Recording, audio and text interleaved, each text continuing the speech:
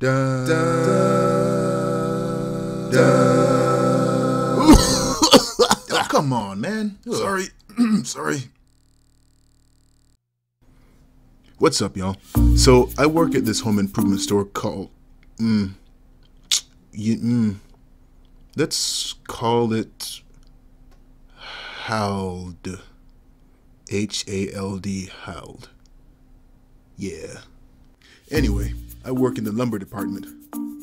Now, working at Hald is. It's alright. There's a lot to do, there's literally no downtime. During the day, we maintain the store. We sweep the floors, we stock shelves, we flat stack. Basically, we make the store look good. Most of the time, I have coworkers. Even people from different departments come over and help out sometimes. But other times, I'm alone. Which brings me to the customers. Yay! We gotta do so much for customers. We gotta cut their lumber. We gotta help them design stuff. We gotta drive vehicles to get stuff down from the overhead or bring stuff to their vehicles.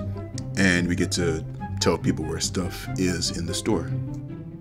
So we've got about three types of customers. There's the good type. They help my day go faster.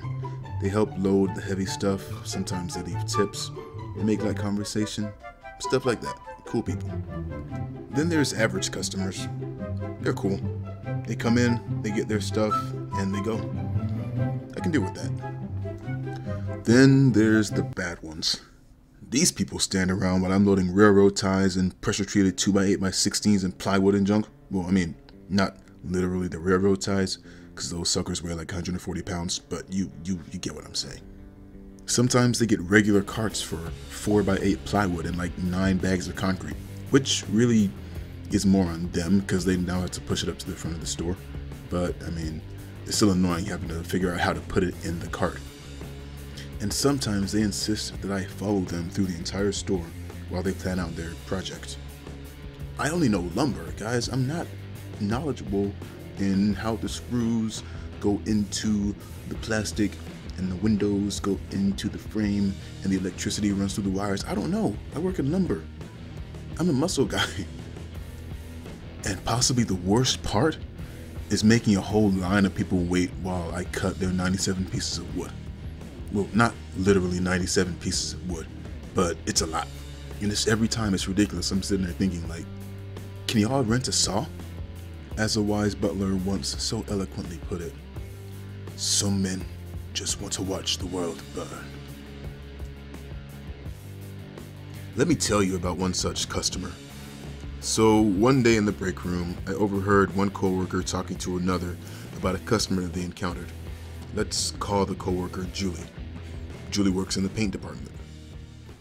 So, one day, a customer walked up to Julie's department. Hi, what can I help you with today? Hi, I'd like to return this bucket of paint. Oh, I'm sorry, sir, but we can't process returns on paint. Corporate policy. No, no, no, look. I painted my whole room and I didn't like the color, so I'm bringing it back. I understand, sir, but we still can't. Wait, did you say that you painted the entire room? Yep.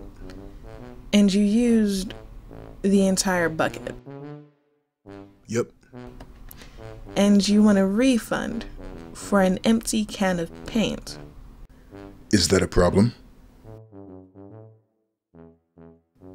And that's just one customer.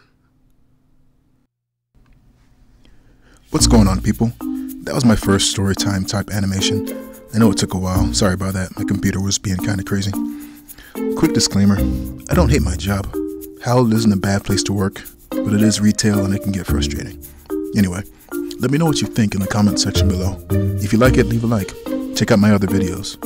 My next animation is in the works and it's a Christmassy one, so keep your eyes open for that. God bless you guys. I'm out.